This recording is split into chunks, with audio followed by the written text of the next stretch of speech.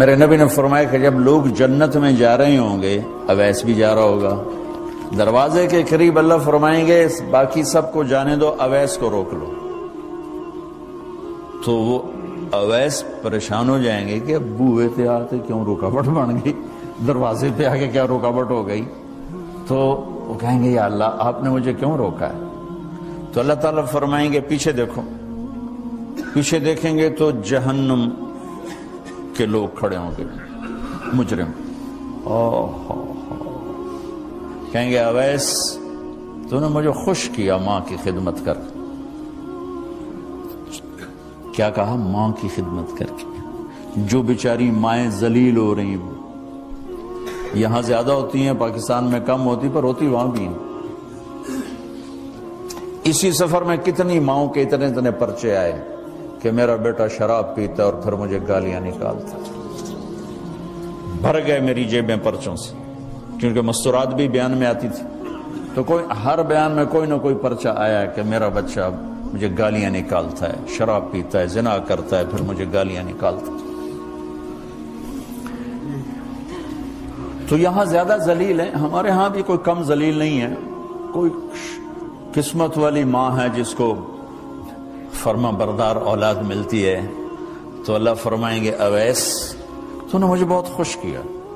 माँ की खिदमत। देखिए, जहन्नम के लोग खड़े हैं तो उंगली का इशारा करता जा।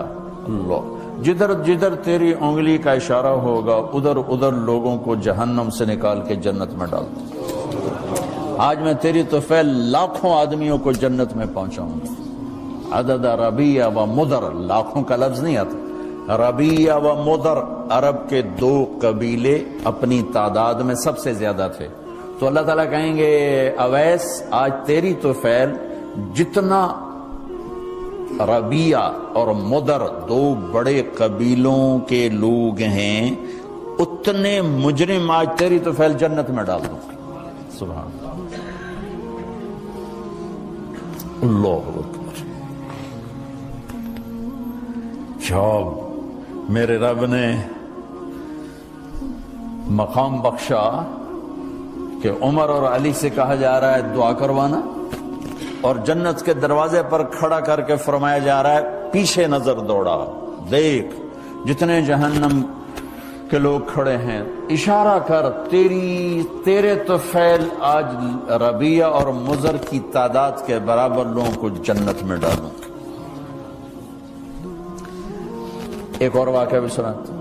आपने फरमाया, मैं आज रात जन्नत में गया। एक तो मेराज है, जो जागते हुए, खाम में तो बहुत दफ़ा हुआ।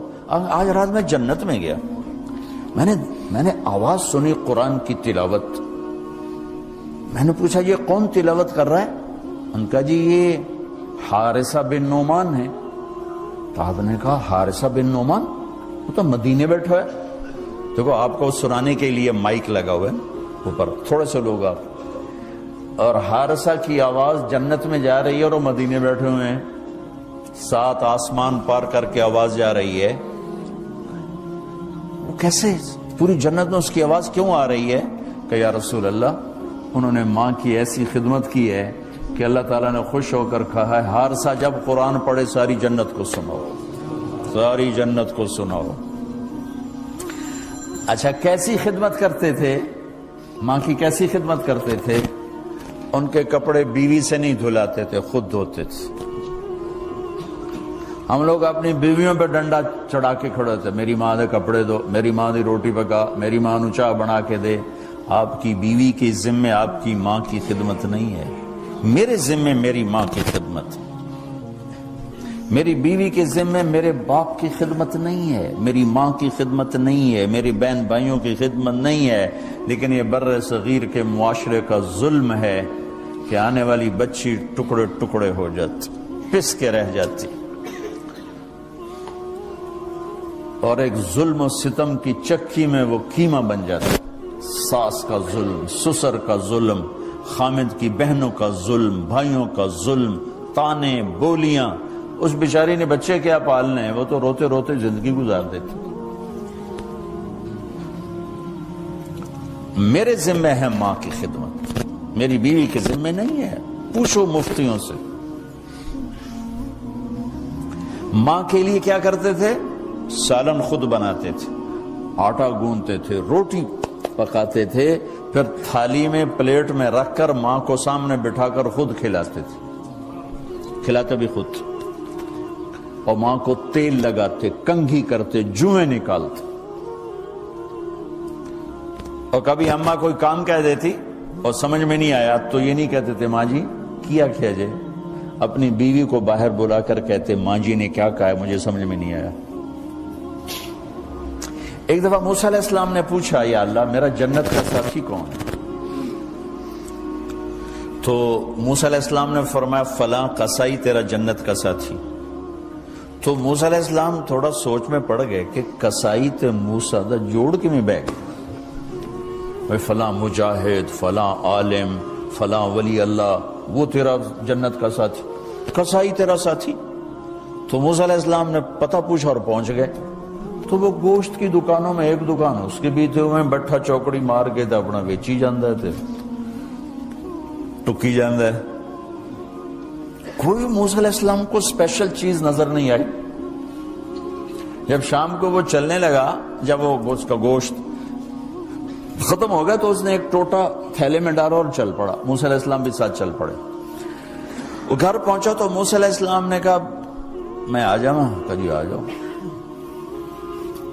उसने वहाँ जाके क्या किया बोटियाँ बना के हांडी चढ़ा थी फिर आटा निकाल के गूंधा, उसको नरम होने रख सालन तैयार किया, फिर रोटी तैयार की। ट्रे में रखा। एक औरत इस तरह पड़ी थी। उसको जाके हिलाया, माँ जी। आँख खोली। एक हाथ से उठाया, सहारा दिया, दूसरे हाथ से नवाले बना बना के खिलाता रहा खिलाता रहा, खिलाता तो उस ने यूँ सर हिलाया कि मतलब मेरी बस। तो उसका मुँह साफ़ किया। और उसको सहारा दे के लटाने लगा। तो कुछ बड़बड़ाई। मूसलाम जरा फासले पर थे, सुन नहीं सके क्या कहा। मूसलाम ने फरमाया, मेरे भाई, ये कौन है? कहा, जी, मेरी माँ है। और मैं जब सुबह जाता हूँ ना काम पर तो इसके सारे खिदमत करके रोटी, पानी, खिला, पिला, फिर मैं जाता हूँ। फिर जब शाम को वापस आता हूँ तो पहले मैं इसकी ये खिदमत करता हूँ। बीवी से नहीं कहा, खुद किया। हम अपनी बीवियों को कितना जलील करते हैं। और निन्यानवे फ़ीसद जो सास है वो नेगेटिव है और जालिम है। निन्यानवे फ़ीसद सास। नेगेटिव है और जालिम है। और हमारे बच्चों को होश नहीं कि मेरी माँ है, मेरी माँ है। माँ की वजह से बीवी को तबाह न करो और बीवी की वजह से माँ को तबाह न करो। उसमें बैलेंस करो। बीवी के इश्क में माँ बाप जलील ना हो और माँ बाप माँ बाप के अदम में बीवी जलील ना हो। ये दोनों नौहे मैं सुन रहा हूँ, इसलिए बोल रहा हूँ, दुख से बोल रहा हूँ। कहा जी, मैं शाम को फिर इसकी खिदमत करता हूँ। अब बच्चों को। बच्चों को बाद में देखता हूँ। अच्छा ये बता, ये क्या कह रही थी? लुटा रहे थे। कहने लगा, जी, बस माँ जो हुई, जब भी खिदमत करता हूँ तो कहती अल्लाह तुझे जन्नत में मूसा का साथी बनाए मैं तो जी कमी कसाई ते मूसा कलीम, मेरा ओदा की जोड़ है? मैं कहा, पुत्रा, तेरा जोड़ बना, छड़े तेरी माँ।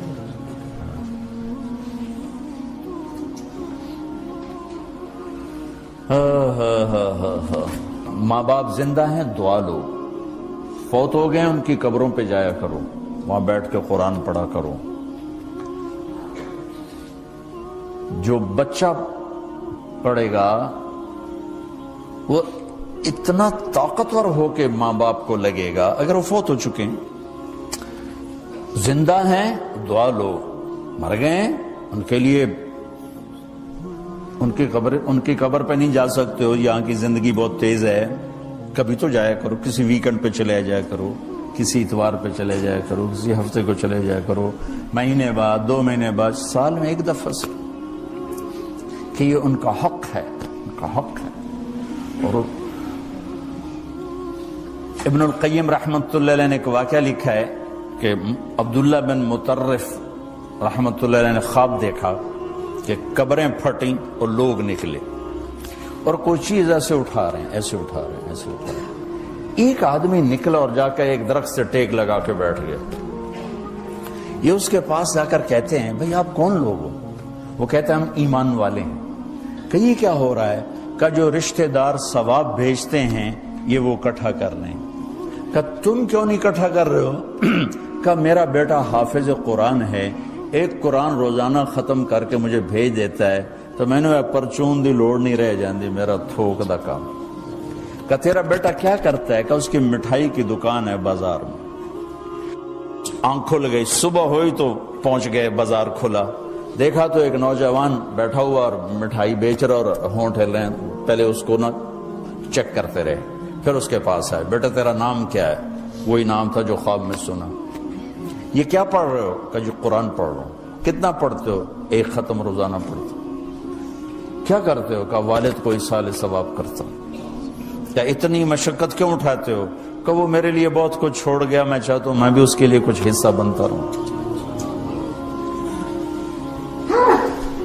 तो ये वालदेन के हकूक में से है। कि अगर वो चले गए हैं